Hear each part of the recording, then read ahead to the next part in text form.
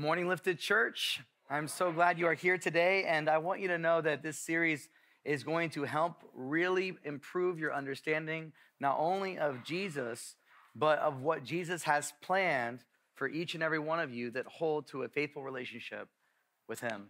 We have gone through now chapter one of Hebrews. We have finished it. We started up with the introduction of chapter two, going one through four. And today we'll be reading from Hebrews chapter 2, 5, all the way to 9.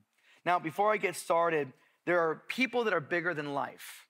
People that when you meet them, they change everything. Now, when you read the Bible, there's one character that has really impacted the Bible, I would say second to Jesus, and it's King David. David has just been one of those characters that out of all the people that God talks about in the Bible, it's only David that he says, This is a man after my own heart. Now, if you fully take that in, that is a statement to have said about you. That is very heavy that God would place that on David's life and see that about him, even sometimes before maybe he even could fully comprehend or understand it. What I love about it is that as David's life would continue on, David would have many sons. And these sons would all have ambitions of their own ambitions for the kingdom and how they would run it if they were in charge. There was times where people would try to usurp the kingdom, like Absalom, and he would get humbled and he would lose his life.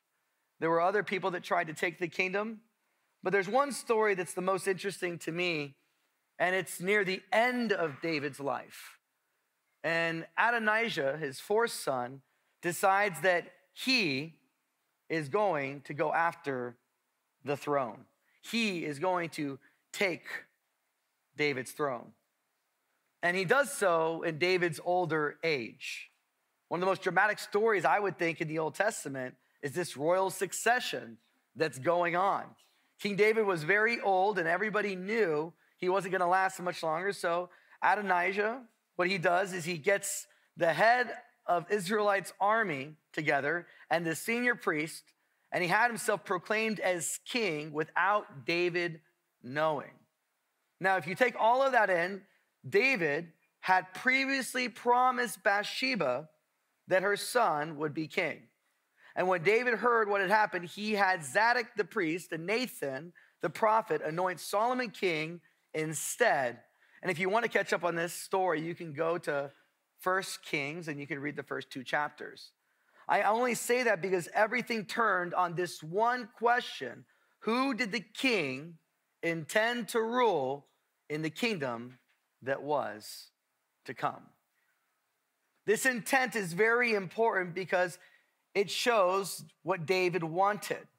It's the same question that's going to parallel now into Hebrews chapter 2.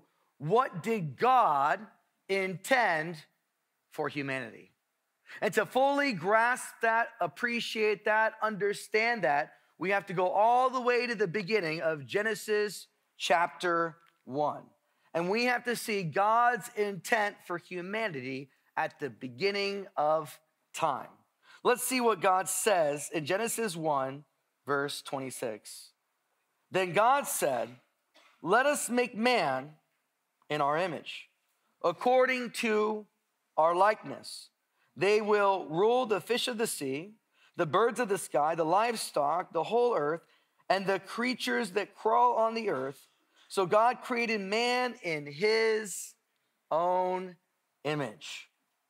He created him in the image of God. He created them, male and female. God blessed them, and God said to them, Be fruitful and multiply, fill the earth and subdue it. And then he says something right after it have dominion, rule the fish of the sea, the birds of the sky, and every creature that crawls on the earth. See, many of us will see that we are made in the image of God, and God, He wants you to know that you, out of all creation are his prized possession. You are his people that were set apart at the beginning of the conception of the world. God had decreed that man and women would rule together. And what's so insane is that we can see how God's intent wasn't honored by man. God's intent, while perfect, man was perfectly trying to subvert it. He wasn't successful because scripture is going to say that what the first Adam failed to do, Jesus accomplished on the cross. See, the big idea behind all of this is that God had plans for you at the beginning. His plan is that you would have authority and dominion. You would have the rulership over this very earth, not to be given away to angels, though angels existed, not to be given away to creatures, though creatures existed, to be given to humanity.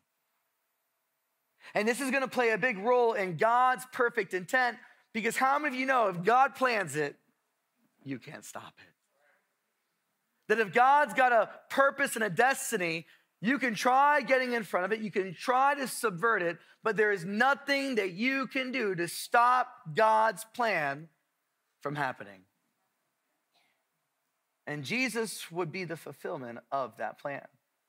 Remember, before the incarnation, we see in terms of the spiritual. But Jesus took on flesh, and by taking on flesh, he took on humanity. And when he took on humanity, he did what the first Adam could not do. He lived the perfect life. He paid the ultimate price with his perfect blood, and his blood redeemed mankind. This is an amazing feature that can only be brought to you by a relationship with Jesus and knowing Him fully. And when we get to the story and here in Hebrews, Hebrews is helping us understand this and it's helping us see that Jesus wasn't just the God, Jesus is the God man.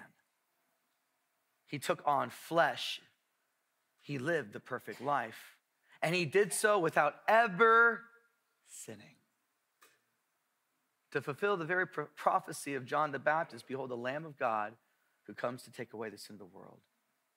We perfectly screwed up. We perfectly needed a Savior to fix what we did. What I love about here is in verse 5, he says this He says, For he has not subjected to angels to the world to come that we are talking about, but someone somewhere has testified what is man that you remember him? Take this into account that God, in the beginning of time, had you on his mind. At the beginning of time, he had it on his mind to see mankind flourish, increase and multiply, be fruitful. God has designed you to be fruitful. And when we're not fruitful, it's because of sin.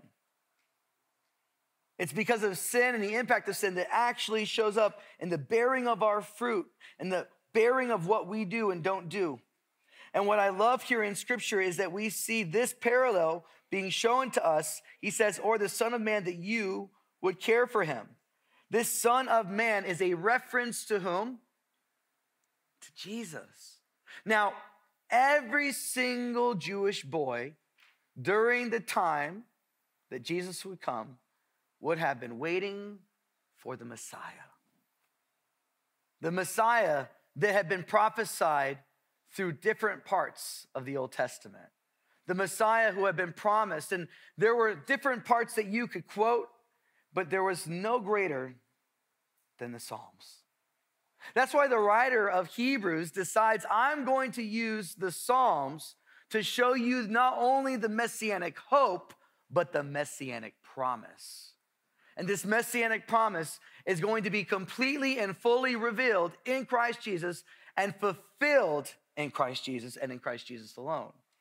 How do I know that? Well, we can go and we can see that this passage that is referenced by the author of Hebrews is a direct quotation from Psalm 8, 4 through 6.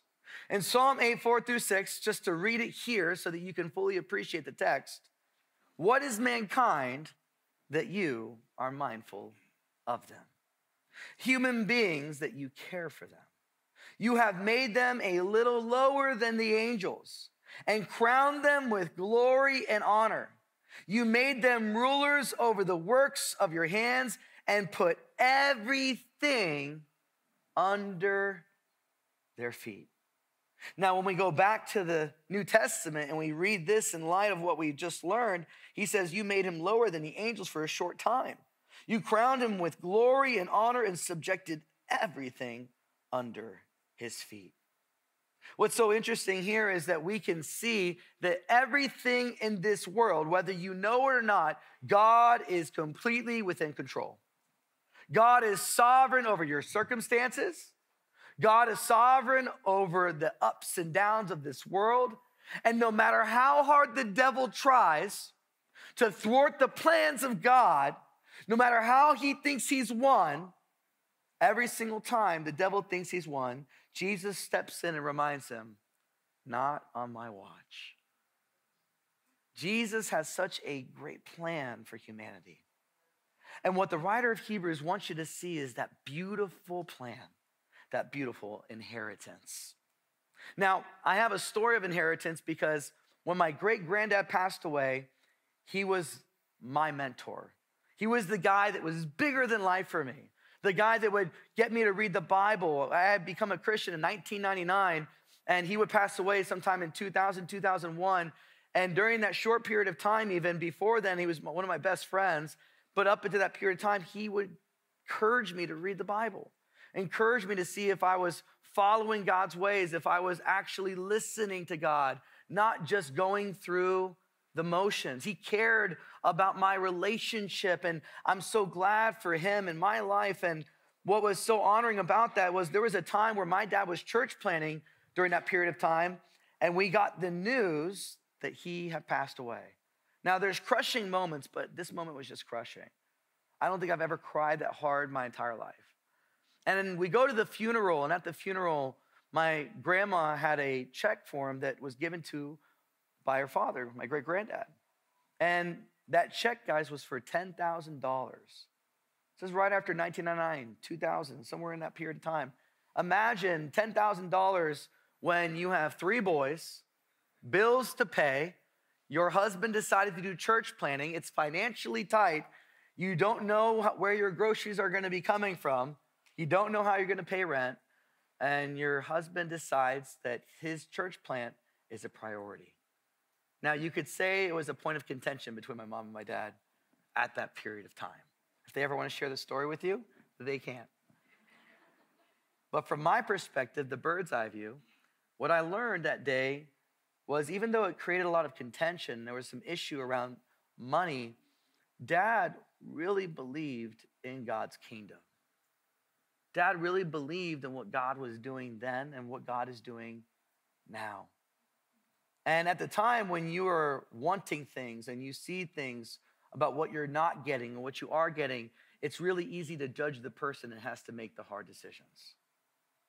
It's really easy to judge your father during that period of time. And I couldn't fully appreciate it till I got older. Dad ends up using the $10,000 because they had exactly $10,000 due in rent. And God gave him a check so that he could continue the church. Now, for me, that speaks wonders on my dad's character about how he saw things. Now, many of you look at a physical inheritance, but what my dad taught me that day was a spiritual inheritance. He taught me about a spiritual inheritance that matters even more than the physical ones that I see. Because you, ladies and gentlemen, might be leaving something special for your kids. You might have a legacy and you are trying to leave your stamp on this world and you are trying to put your kids in a better position than you were put in. But you want to put your kid in the best position possible? Give them Jesus. Give them Jesus. Lift it up. Lift it up in your marriage. Lift it up at the schools that you go to. Lift it up in your careers.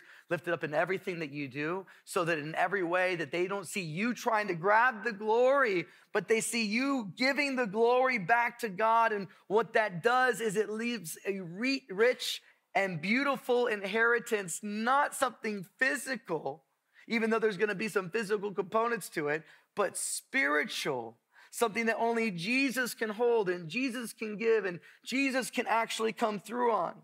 Because if you don't know this yet, everything's gonna fade. But the word of God will remain forever. We have to teach our young people and our old people, all people, to hide God's word in your heart. You want to remain, you need to remain steadfast and faithful to the things of God. You don't want to fade away. Hold on to God, and He'll hold on to you. This is a beautiful truth that we learn through this story that we see played out for us in Hebrews. He tells us, he says, this was Jesus the Messiah. He was the one that was holding the old and bringing everything to the new. He is the one that takes the old and makes it new. He's the reason why we can even become a masterpiece to begin with. He's the one that actually did what Adam couldn't do, and he subdued sin once and for all, being able to say, Oh, death, where is your victory? Oh, death, where's your sting?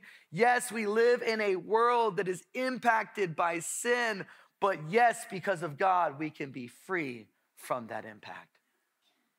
There is a freedom in Christ because the Bible says, To whom the Son of God sets free, you are free indeed. Jesus came so that you can say no to ungodliness, yes to his righteousness, yes to Jesus. And when you learn to give Jesus honor and glory and respect and reverence, and you begin to obey him in your life, what he begins to do for you is he sets up for you a beautiful inheritance, not just in the here and now, but in the future. And this is what I want to talk about today because this kingdom that is in the future is not some pie in the sky. When we get to heaven, we're at a beautiful resort. There are wieners roasted on there on a fire. You got your beans there. You got your nice little buffet there. You put your food there, whatever you have, your arroz con pollo, whatever you want. You start to think, oh man, heaven's gonna be amazing. I'm gonna have a recliner chair, a La-Z-Boy and I'm gonna be able to chill because, man, I have been working so hard for my living. And some of you believe that, and it's sad because that's not what the Bible says. The Bible actually says that you are gonna have authority, you are gonna have power, and you are gonna have dominion. That the very promise that was given in Genesis was actually fulfilled in Christ. And when you understand and realize that, that Christ is now going to be that second Adam, he's going to sit and do what the first Adam could not, then you begin to understand that Jesus will be on the throne, that in the future, during the millennial reign, he will not only be on the throne, he will sit on that throne forever, and no one will ever succeed him. No one will ever take his power. But yet, those who understand having a relationship with Jesus means also getting to become a prince and a princess in his kingdom, becoming a children, a son, and a person of God. Now, I want you to go to scripture with me, and we're going to see right now in Matthew 19. I need everyone to give me some Baptist air conditioning today. Matthew 19, Matthew 19. I need you guys to move there. For those of you who don't know Matthew, it's the very first book of the New Testament. Here in Matthew 19, verse 27, it was right after the rich person said, How can we do this for the kingdom of heaven? I have the needle, that whole thing. We see here in verse 27, Peter was saying, Hey, man, I'm still here. I'm following you. I, I, get sometimes the rich people can't. I get sometimes the arrogant people can't. The proud people can't. The 12, we're still here. And this is what Peter says. He's, Peter responded to him See, we have left everything. Jesus, look what I've done for you. I have sacrificed so much for you.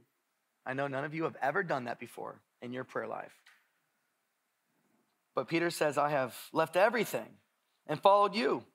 So, what will there be for us? Ultimately, what's in it for us? What is our inheritance? What do I get out of it? Out of following a relationship with you, as if salvation's not enough.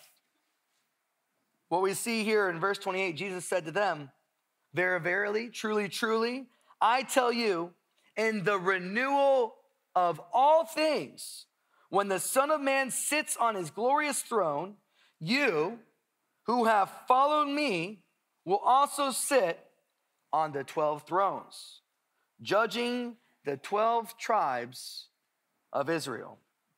And here in verse 29, it says, And everyone who has left houses or brothers, sisters, fathers, or mothers, children, or fields, because of my name, will receive a hundred times more and will inherit eternal life. And then he says, But many who are first will be last, and the last first. Do you know what he's talking about here, ladies and gentlemen? Jesus is talking about the millennial reign. How do I know that? Well, let's read Revelation chapter 20, verse 4. Revelation 20, verse 4, he says, Then I saw thrones, this is John speaking. Then I saw thrones, people seated on them, who were given authority to judge. I also saw the souls of those who have been beheaded because of their testimony about Jesus and because of the word of God, who had not been worshiped the beast or his image, and who had not accepted the mark on their foreheads or their hands. They came to life and reigned with Christ for how many years? A thousand years. And then in verse 5, he says, The rest of the dead did not come to life until the thousand years were completed. This is the first resurrection. Blessed and holy is the one who shares in the first resurrection. Do you understand that in the New Testament, the millennial reign is talked about more than any other period? Jesus tells you about it when he references the sheep and the goats. He tells you about it when he references the wheat and the tares. He tells you about it when he comes back, what it's gonna be like. He even references it when he talks about the parable of the talents. And he says, To one I gave this many, and to one I gave this many. And what we learned even about the parable of the talents is that God has given each and every one of you something. And these are people that knew the Master, that knew the Lord, that knew the Savior, that said verbally and out loud that they were saved, that they had a relationship with the Lord. But what do we learn about even that lesson? That the wicked, lazy servant despised his inheritance, despised what had been given to him, what had been allotted to him. And not only did he despise it, he dug a hole in the ground. And what happened when the master came back? He cast him out into utter darkness. But there we also see the flip side where the people who did the right things, who followed God, he says, Well done, good and faithful servant. So there we see the two qualifications for the people who end up in a millennial reign. They have to be good, and nobody can be good without God, following his decrees, following his rulership in their life, which is making him Lord of your life, and surrendering to his cause, surrendering to his ways, surrendering to his will. And then on the flip side, being faithful Oh, to be faithful. Faith is something that we do not always cherish in this world. We t- think success is what we can bring to the table in terms of money, and success is what we get to, to do with our own lives, but success is what we do for God. Do you guys know why David was a man after God's own heart? This is the most simplest answer, and it's the right answer, I promise you, because he was faithful. I know you want something bigger than that. All these theologians, why is David the man after God's own heart? Because nobody had to ask him to do things for God. That deep down inside, David loved God with all of his heart, with all of his mind, with all of his soul. And when God searched his heart, he found a faithful individual that served him out of a genuine place. If God were to search your heart today, what would he find? If God were to search your mind today, what would he find? If God were to watch your actions and the way that you live out your will and the way that you do things, are you circumventing God's process and rulership over your life, or are you in submission to his process and you are following what it is that he wants you to do? Because God has put a proclamation on your life, and you are either living in that holy assignment or are you doing things your own way? And doing things your own way is not a new thing. Adam did it and see how it played out for him. Saul did it and see how it worked out for him as a king. David understood at a, a, core level that it's about being faithful. And here, when we get to this idea in Hebrews and we go back to his word, we see that in Hebrews, this millennial reign is oozing out of the book because we can think that Hebrews is just about justification. It's about me being saved, but then what do you do after you're saved? Why am I still here? My dad likes to say this that if it's just about being saved, the moment you accept Jesus, you're gonna shoot up like a rocket, go straight to Him. You aren't just here for your own salvation, you are here to end the work of the devil with God, and God is going to end it once and for all with a loud shout from his own voice. And when he does so, guys, you're either gonna be on his side or you're gonna be on the devil's side. Let me tell you what happens with the devil. He loses in the end. He is a defeated foe. So, why do we need to be educated? Why do we need to understand this beautiful inheritance? Because it's the inheritance, guys, that it's all about. God has something for each and every one of you, and you are going to enter into a millennial reign. And you see, some people aren't going to get what they thought that was going to be given to them. There are some people that after the millennial reign are going to get into heaven by the skin of their teeth thinking, oh man, I have arrived. Look at this. And then you're like, what am I going to get? And God's like, you get nothing. You get me, but you get nothing else. This is going to be such a sad day for certain people because they're going to have thought in their minds, well, all I thought I had to do is make a decision. And all I thought I had to do is do a little bit. And there are people that God is going to honor just in the fact that not that they were honoring, but that God honors his promises, that God honors his word. And so there are people that are going to, like I said, get into heaven on the skin of their teeth. But there are also a lot of people that are going to go before the Lord and say, I deserve to get something. And they're going to say, Lord, Lord, I did these things in your name. And he's going to say, Depart from me. I never knew you. This is all about the millennial reign. And this is hard for my heart to swallow because, one, we have to take into account that hell's a real place. And that if we don't preach the gospel, people are going to go there. And two, every great truth bears great responsibility. You are not ignorant. You know that God deserves all praise. You know that God deserves all things. Yet somehow in our minds, we think, well, because we can get away with it, then it, it's okay. Because we haven't been disciplined, it's okay. Because things haven't happened right away, it's okay. Well, let's see what God's word has to say about it. He says here, for in subjecting everything to him, he left nothing that is not subject to him. As it is, we do not yet see everything subjected to him. Have you ever met someone that's really skeptical about God? And they use language like, it seems. It seems like the God that you talk about isn't the God that I see in the world. They might even use a question like this If God is so good, why do bad things happen to good people? Have you ever had that said to you and not knowing what to say back? Well, you can take them to Hebrews chapter 2. You can take them to this very verse, and you could say, It might seem like God is not in control, but let me tell you, He is. And let me tell you how I know He is. This is how I know He is. Not because sin has entered in the world, but because Jesus has entered into the world. And that when Jesus steps into the human believer's heart, he changes them from the inside out.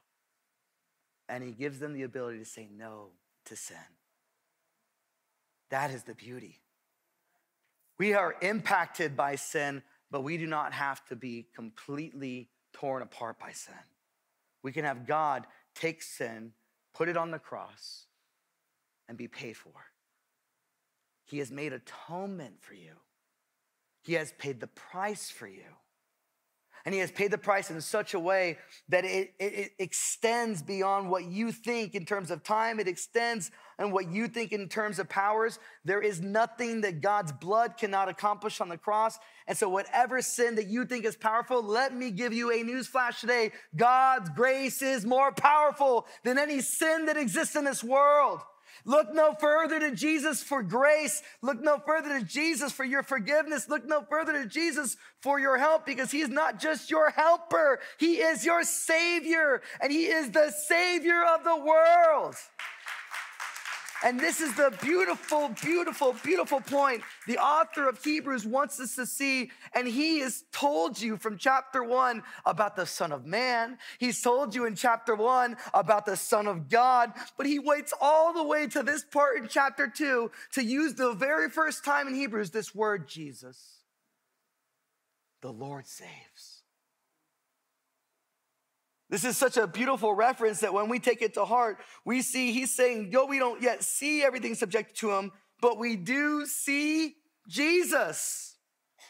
And if you see Jesus, you can see the promise. If you see Jesus, you can taste the promise. How do I know that? He says here in scripture about this taste. He says, He made lower than the angels for a short time so that by God's grace, He might taste death for everyone. Now, if you're like me, I love to eat. And I mean, thank God every day for my taste buds. COVID 19 did a number on me. For like five months, I couldn't taste things. I cried.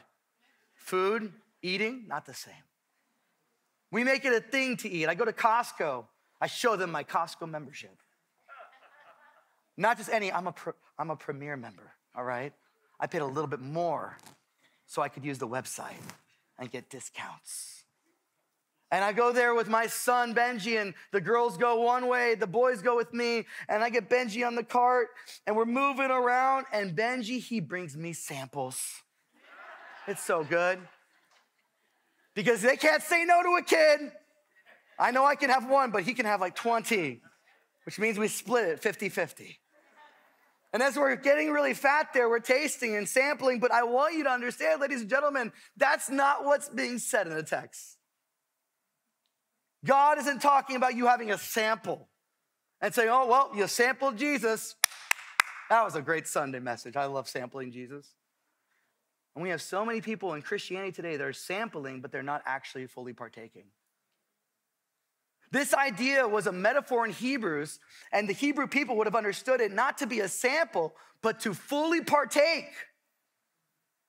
So it's one thing to try the sample, but everybody knows at Costco, you get the sample so that you go back into the freezer and you buy that and you bring the whole thing home.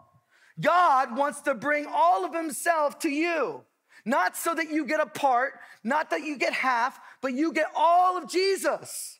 And if you get all of Jesus, it's all that you need. Are you getting it yet? And this idea of taste death is that he did it for all, so that all could taste glory. And that glory is something that he has.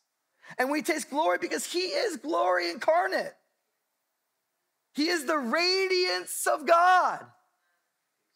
And when you appreciate the text here, you can see that the writer of Hebrews was saying that he was made lower than the angels. Take this in for a moment. Before he was incarnate, he identified in the deity of just being God, but not yet the God man. But to take on humanity meant being lower than even the angels. And now, to fully appreciate the text, when you go all the way into Philippians, not only did he do it, he emptied himself, taking on the likeness of man. He humbled himself.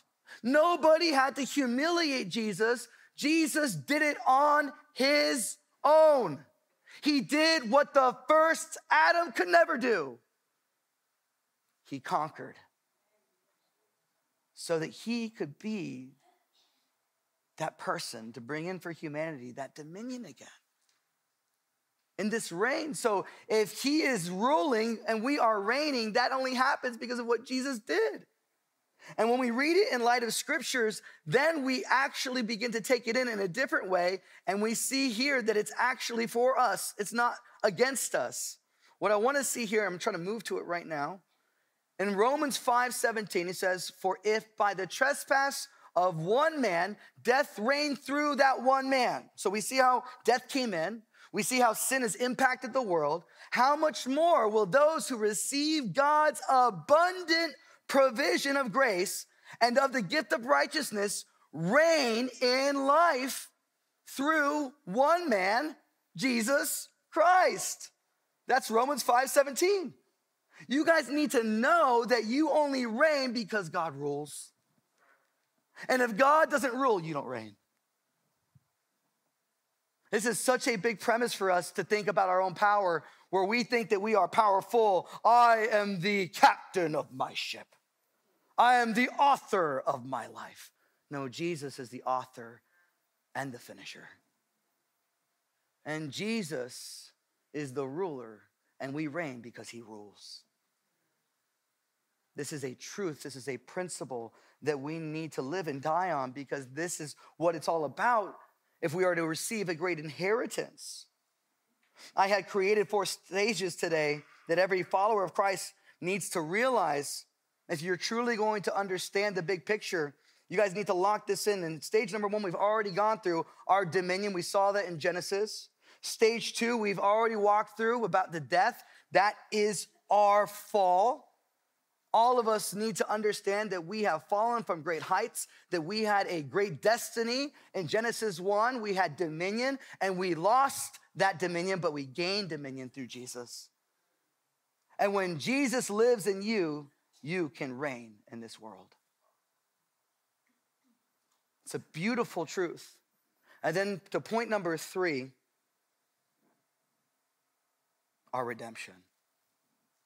We were saved we were redeemed. We were justified. We were made right before the Creator. You know, scripture says in Ephesians, and this was something that blew my mind when we're talking millennial reign and taking all this together in Hebrews. And I know we're doing a lot of theological lifting right now. But he says here, and God raised up with Christ and seated us with him in the heavenly realms in Christ Jesus in order that in the coming ages, the millennial reign, he might show the incomparable riches of his grace expressed in his kindness to us in Christ Jesus. Paul would use in Christ Jesus so many times to help you understand, like shake it into you. It's not because of you, it's because of him. It's because of what he did for you that you can be here today. Because we know that Jesus, he could have said, you know what, I'll start over. I'll just do this all over again. I'll create a new reality, one that is not bent towards sin, but one that wants to do what I tell them to do. But instead, Jesus steps into humanity. He becomes sin, right? He takes on sin so that we can become the righteousness of God. He who knew no sin became sin for us so that we would become the righteousness of God. Scripture. And when we grasp that and we put it together here, then we can see what he's saying that though they were made lower than the angels for a short time, so that God's grace he might taste death for everyone, crowned with glory and honor because he suffered death. All of this climaxes to one great ending that we see Jesus, who was made a little lower than the angels, has now been crowned with glory and honor. He is our promise. He is God's ultimate intention for us. That yes, Satan had a plan in the beginning, but man, Jesus had a better plan. And you can't stop Jesus' plans. That when Jesus has a plan on your life and he's got a plan on your family, that you don't want to get in front of that and you don't want to mess with that. You want to allow that to take its course. Because behind every plan of God is a blessing. And behind every person that shirks the plans of God, they lose a blessing. Do you know that God, He says very rarely He hates people in the Bible? He's a loving God, but He says, Esau have I hated, Jacob have I loved. Why does He hate Esau? What did Esau do? Esau was flippant about his inheritance. Esau was flippant about his birthright. You know what your birthright as human beings is? To have dominion, to reign and to rule, but to do so under God's sovereignty, under God's protection, under God's rulership. And like I said, when God rules, you reign. And man broke God's rulership, and so they stopped reigning. And angels would do that which man was promised to do. And you have a group of people that are diminishing the impact here in Hebrews, which was the very first heresy that was coming into the church. And they were doing so because they were saying maybe Jesus was a phantom, like a little ghost. He, didn't, he wasn't really physical. They were taking away his humanity. And some people take away his humanity and they leave him just God physically. But you need both 100% man and 100% God. And those two things come down together. And he does so to fulfill prophecy, to fulfill scripture, to fulfill his word, so that he would become the propitiation of sin, that he would become the very sacrifice necessary to make a way for salvation, to make a way for redemption. But ultimately, what's the last point today? To make a way for our inheritance. Everything is leading up, not just that you are redeemed, not just that you're saved, not just that I'm a Christian and you're not. No. That you have fallen in love with Jesus so much that you have gotten a heart like his. And until your heart reflects his heart, there's still work to be done. And the inheritance that you receive is that you get to live with your father in your father's house. You get to be one with Jesus. The Trinity invites you into their circle God the Father, God the Son, God the Holy Spirit, and He grafts you in. He grafts you into His special possession, the 12 tribes. Ladies and gentlemen, you are Gentiles. You are that 13 tribe that Paul speaks to. You are those that were outside of the promise, but because of Ephesians, he's torn down the wall of hostility so that you guys could be gathered in the Gentiles, so that that moment would happen, that all Gentiles would bow the knee, so that the future would actually be fulfilled, that every knee will bow. Guys, that is the great God guarantee. God guarantees that one day all people are gonna have to do this. And you either do it by choice or by force. There's no greater force than God.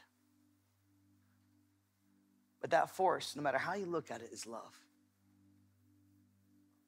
And He loves you, His creation.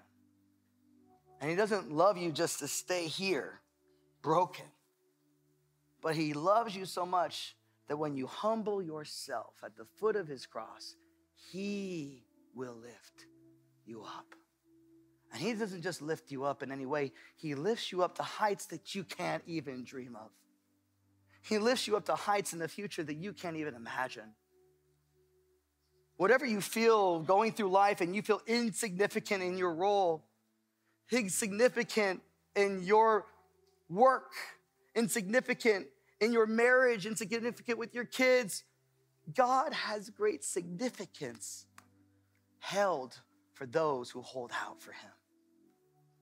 And if you can see that, you can understand that why would you turn to the left or the right? Why would you look backwards? Keep lifting up Jesus. And if you lift up Jesus, he's to draw all people unto him.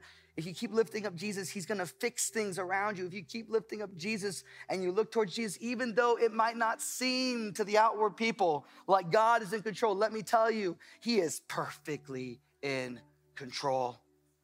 He is perfectly sovereign over your situations, and He is perfectly working right now in your hearts if you let Him. Because the only thing that doesn't work when you go before God is your proudness, your pride. The Bible says God opposes the proud, but he gives grace to the humble. And we know from scripture it's this grace that appears at the millennial reign. And it's the grace that Jesus gives to those who are faithful and good to his kingdom. No one preached about the kingdom more than Jesus. He was about his father's house, he was about his father's rule. And because of that, the father saw it fit to make him the ruler of all things. Jesus needs to reign supreme in your heart. If you haven't given him your heart, what are you waiting for? Don't just stop at salvation. Understand that you have a great promise. So if today you haven't made a decision for Jesus, let's make that right before the Lord. Let Jesus into your heart. But when you take that first step, I'm telling you, it's one of a million because you are going to be moving forward like you never have before. And you're not going to want to just stay at the doorstep of salvation. You are going to want to run to whatever it is that God has for you. And I want you to run with zeal. I want you to run the race with faithfulness. I want you to run, and I don't want you to look back because what behind you is not as great as what lies before you. God has a great glory for those who remain faithful and steadfast to the things of God. God has a great destiny for those who can look forward to the things that God is doing. And yes, you may not be able to see it right now, but God, He is working a new thing in your life if you let Him. He is making provisions for you if you can see Him. And whether you can see Him or not, they are happening. And only those who are faithful are actually enjoying them because God, He holds out for those who are faithful to Him because it pleases Him. If today you haven't made a decision, honor Him today with your life. Give Him your heart. The Bible says, confess with your mouth that Jesus is Lord. Believe in your heart that God the Father raised Him from the dead. And know that one day He will raise you too. That is Scripture. That is what God's Word says saves someone not raising your hand, not writing it on a card, believing in your heart that Jesus is Lord and Savior over all. When you can do that, that's the demarcation moment. That's that moment where you are born again. That's the moment the Holy Spirit comes in. He baptizes you with His power and His glory and His honor. And He gives you the ability to, to tear down strongholds. He gives you the ability to say no to ungodliness. He gives you the strength that is necessary because before in your sin you were weak, but in His grace you are made strong. And in that moment when you do that, God has the victory over your life. If that's you today, I want you to close your eyes. I want you to confess with your lips. Say, Jesus, I know I'm a sinner. I know I'm not perfect. But today I turn. I turn away from living life my own way. And I come to you and I ask you, I beg you, forgive me of my sin. I realize my sin has been keeping me from you. But I also realize that you made a way through your son. So, Jesus, I'm asking to take my sin, to put it on your cross, and to have your blood cover me, protect me, and keep me in you. Thank you, Jesus, for what you've done. Thank you for resurrecting. Thank you for conquering. And thank you for coming to me and giving me life. From this point forward, Jesus, I commit my life to following you with everything that I am. Because now I know you are my Savior. You are my Lord. You are my friend. I don't want anyone looking around yet. If you made that decision right now, I need you to do this. And it's very important because the Bible says, if you will not declare me before people, I will not declare you before my Father in heaven. The biggest moment isn't faking it till you make it. The biggest moment is when you are authentically real with your own life. When you're done playing games and you give it all to Jesus because you realize He is all. If you're giving Jesus your heart today without anyone looking around the room, I just want you to lift up your hand. I gave Jesus my heart. I gave Jesus my heart. Amen. Amen. Amen. Amen. Amen. I see hands lifted up all around the room. I see hands lifted up all around the room. Jesus is one today. And if you accept Jesus today as your Lord and Savior, the next step, be obedient. Don't look back. One of my favorite songs in the Bible says, I have decided to follow Jesus. No turning back. No turning back. That's your song today. That's your life song today. Get baptized. Tell the world, I am not ashamed of the glory of God. I'm not ashamed of what God did for me on the cross. I'm not ashamed because it's all about Him.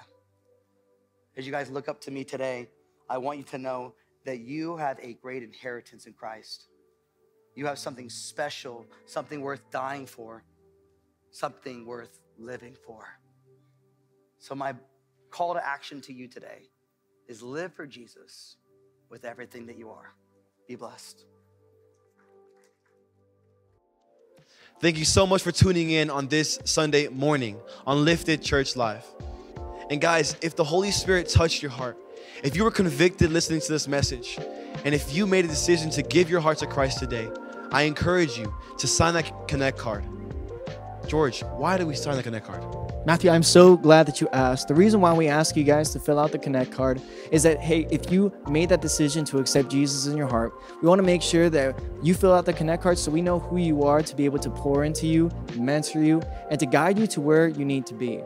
More on that, maybe you made a decision to go get baptized. We want to make sure that we have leaders to reach out to you so we can make that happen as soon as possible. More on that, if you have a gift that God has given you, we want to make sure that you can use it here at Lifted Church to the very best of your ability. That being said, guys, we want you to keep up. We want you to stay updated. So, guys, follow us on our socials. Follow us at, at Lifted Church on Instagram. Subscribe to our YouTube. We want you to stay updated and know everything that's going on here at Lifted Church. And, guys, with all that being said, we're so glad to have had you today on this beautiful Sunday morning, tuning in to Lifted Church Live. We'll see you next Sunday.